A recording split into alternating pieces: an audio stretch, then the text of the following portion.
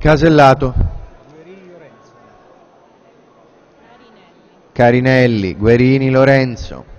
Lorenzo Guerini. Siamo in caserma. De Lorenzis.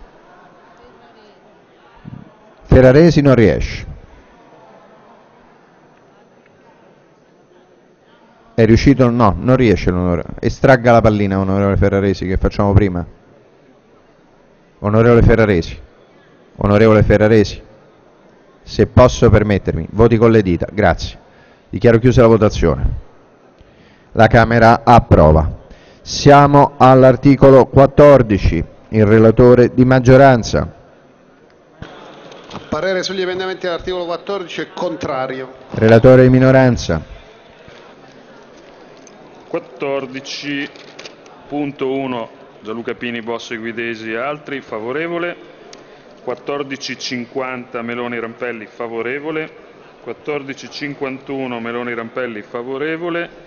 E 14.52 sempre Meloni Rampelli, sempre favorevole. Governo. Conforme al relatore di maggioranza, Presidente. Grazie. 14.1 Gianluca Pini. Prego. Grazie Presidente. L'emendamento è totalmente sostitutivo dell'articolo 14 perché l'esercizio di ipocrisia che il Partito Democratico ha cercato di rifilarci oggi anche con l'intervento della collega Morani, qui viene smascherato totalmente perché non solo vengono messe le briciole per questo fondo destinato alle vittime di reati violenti, ma addirittura vengono accorpati con quello che è il fondo per i fondo di rotazione